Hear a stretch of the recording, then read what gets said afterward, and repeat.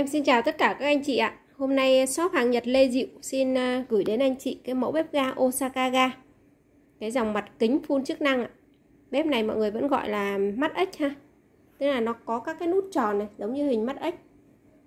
Rất là đẹp. Mặt kính để tráng gương. Dòng này là dòng bếp à, ga dương nhé. Mình đặt nổi bê trên kệ. Đây là cái ngoại hình bên ngoài của bếp mẫu này sản xuất thì cũng đời thấp thôi, nhưng mà hình thức còn rất là đẹp. Phía ngoài mặt à, phím này là bằng nhựa, nên là nó không bị xét gì gì hết. Còn bên hông này, bên hông, bên trái, bên phải đều đều đều không bị móp méo nha, thành vách cứng cáp. Đây là phía đằng sau của bếp này. Phía đằng sau này có nhiều cái lỗ thoát hơi này. Thì à, khi mà bán hàng tụi em sẽ làm lưới chống chuột dưới đáy bếp và đằng sau lưng luôn để bảo vệ cái hệ thống dây điện. Thì kết cấu của bếp sẽ gồm hai bếp nấu lớn này và một cái lò nướng hai tầng lửa. Cái dòng này là dòng phun chức năng nha. Nó sẽ có chức năng à, nấu cơm, nấu cháo hẹn giờ và cài nhiệt độ luôn.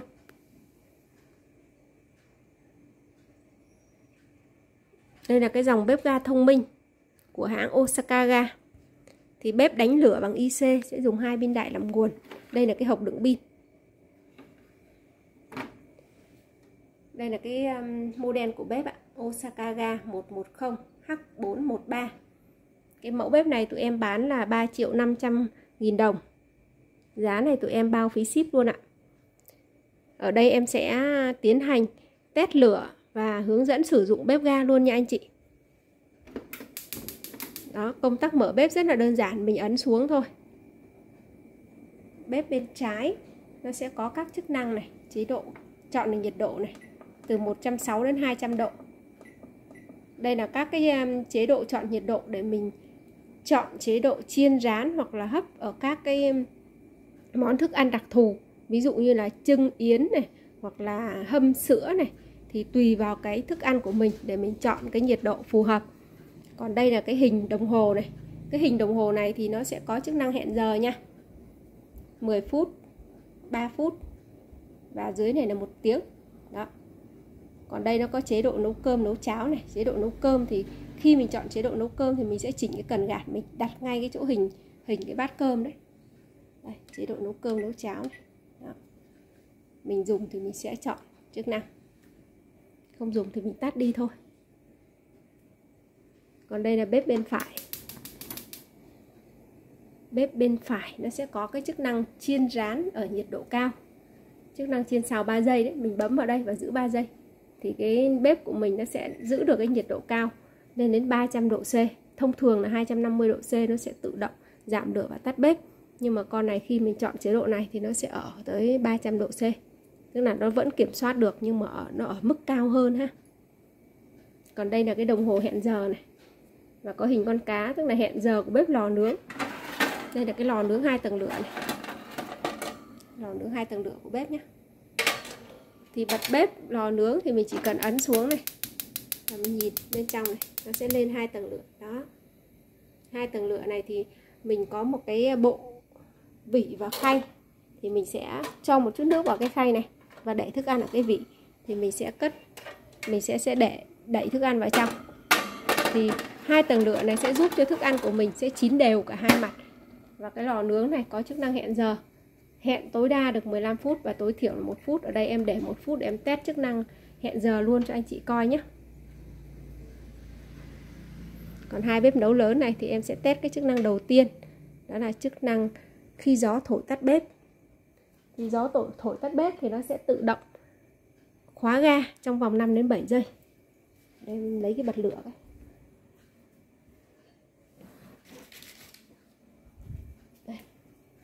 Tức em sẽ giảm nhỏ lửa để em tắt bếp cho mọi người coi. Test, test cái chức năng này.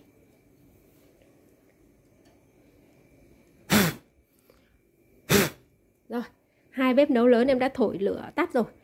Thì khi mà mình nấu ăn mà thức ăn nó tràn ra làm tắt bếp hoặc là gió thổi tắt bếp thì mình cũng rất là an tâm. Tại vì ngọn lửa tắt là bếp sẽ tự động khóa ga. Tuyệt đối an toàn ha. Đó mình nghe cái tiếng tít báo đấy là đã khóa ga rồi trong tình trạng này bếp bên trái đang mở bếp bên phải đang mở nhưng mà ga được khóa hoàn toàn. Đây, mình châm cho mọi người coi. Đó khi mình châm như thế này là mình biết là ga được khóa ha bởi vì ga mà chưa khóa thì nó sẽ phực cháy ngay. Còn đây cái lò nướng này lò nướng báo không không tức là đã hết thời gian hẹn giờ. Bếp đang mở nhưng mà nó tự động nó tắt bếp và khóa ga rồi. Chức năng hẹn giờ của bếp lò nướng là hoạt động tốt nha anh chị. Còn đây mình sẽ mở bếp lại mình mở lại bếp để mình test cái chức năng thứ hai chức năng chống cháy nồi. Cho anh chị coi ha. Ở đây mình sẽ dùng hai cái miếng tôn. Mình dùng hai cái miếng tôn để test chức năng chống cháy nồi. Tức là khi mà mình nấu nướng mà mình để quên nồi trên bếp, thì ở nhiệt độ 250 độ C, bếp sẽ tự động giảm lửa, tắt bếp và khóa ga. Tính năng thông minh cực kỳ, rất là cần thiết cho tất cả mọi người. Tức là khi mình à, nấu ăn này lỡ mà mình có bận rộn mình đi ra ngoài thì để quên nồi trên bếp cũng không dẫn đến các trường hợp cháy nổ đáng tiếc. Tại vì bếp nó quá nhiệt độ là nó tự động nó tắt bếp và khóa ga rồi an toàn lắm. Nên là mình à, bây giờ mình hay quên chẳng hạn hoặc là mình có mẹ già lớn tuổi nấu nướng thì mình tốt nhất là mình nên à, trang bị một cái bếp ga thông minh có tính năng tự động tắt bếp khóa ga khi mà nấu ăn để quên nha anh chị thật ra là chi phí một mua một cái bếp này nó cũng không quá cao. Có rất là nhiều gia đình mình à, thừa khả năng mua nhưng mà do là anh chị chưa biết đến cái dòng sản phẩm bếp ga thông minh của hàng nội địa Nhật này thôi. Chứ mình biết thì mình nên sử dụng ha. Đó cái bếp bên tay trái là đã tự động giảm lửa rồi đấy. Tức là ở nhiệt độ cao nó tự động giảm lửa rồi. Cái con uh, mắt ếch này thì nó viền tráng men này. Viền tráng men sáng màu rất là đẹp. Cái mẫu này cũng dễ dùng lắm.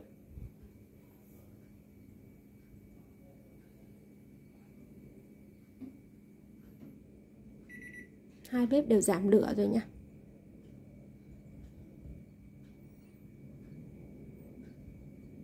Mình thích là thích cái mặt phím nhựa bên ngoài này. Mặt nó bằng nhựa này. Nó không có bị han gì đâu bằng nhựa chịu nhiệt. Độ bền rất là cao. Mặt kính thì dễ lau dọn, dễ vệ sinh. Cái loại này là kiềng rời mình nhấc ra mình à, vệ sinh bình thường ha. Mình nấu ăn là nếu như mà nó có dính ra thì mình nhấc ra mình rửa thoải mái. Ngay cả mặt bếp mặt bếp nếu như lỡ tràn thức ăn ra thì mình có thể nhấc cả cái mặt bếp ra mình vệ sinh. Vệ sinh rất là đơn giản và có nhiều anh chị cứ hỏi là cái cặp pin này này cái cặp pin này khi hết thì mua ở đâu? Thật ra là mình rất là dễ mua mình có thể mua ở các tiệm tạp hóa các tiệm đồ điện đều bán họ đều bán hết.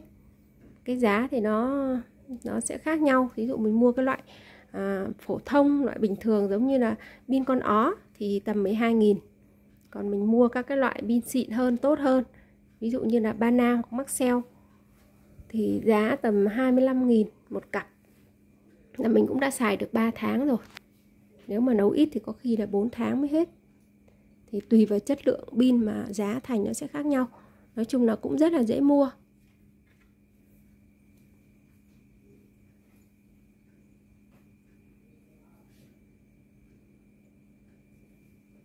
Đây, em chỉnh lại cái này. Em chỉnh lại cái miếng tôn này. Tôn này nó phồng, nó không nó không chạm đến được cái cảm biến ấy tức là cái à, cơ chế nấu của nó là nhờ cái cảm biến nhiệt. Cảm biến nhiệt là cái tim ở giữa. Nếu như mình tiếp xúc không tốt thì nó sẽ không nhận được cái à, nó không biết được cái cái nhiệt độ. Đó, nó hơi phồng đó. đó, tức là cái này mình đặt cái đít nồi thì nó sẽ nặng, nó sẽ đè xuống dễ hơn. Còn cái miếng tôn của em thì nó hơi mỏng, nó nhẹ. Đó, bếp bên phải này, khi mà quá nhiệt độ 250 độ C nó tự động tắt bếp rồi. Em trồng cái miếng này lên sang bên này cho nó nặng ha tức là trong cái trường hợp mà mình nấu nướng mình để quên thì à, nó tắt bếp và nó khóa ga ngay tại cái thời điểm đấy. Đây công tắc bếp đang mở bình thường nhưng mà ga nó khóa hoàn toàn nha anh chị. Đó. Chức năng này hoạt động tốt nhé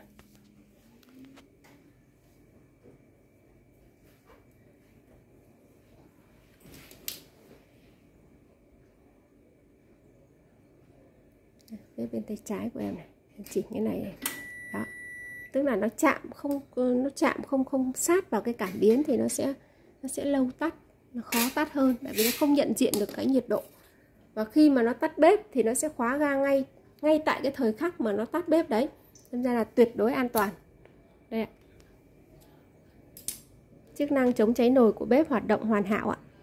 Thì anh chị mình có nhu cầu sử dụng một cái bếp ga thông minh giống như cái dòng này giá bán là 3,5 triệu. Thì cứ liên hệ trực tiếp với em. Hoặc là muốn mua những cái dòng bếp ờ, rẻ hơn hoặc là đắt hơn hoặc là các mẫu khác thì cứ kết bạn Zalo em sẽ gửi mẫu cho. Shop em có rất là nhiều mẫu ha. Nhưng mà do là cái thời lượng và à, thời lượng và thời gian cho phép thì mỗi ngày em chỉ đăng một cái mẫu cơ bản nhất lên cho anh chị coi thôi. Thì nếu như anh chị coi video mà thấy hay bổ ích thì xin cho em một like, đăng ký kênh và chia sẻ video giúp em ạ. Em xin cảm ơn ạ.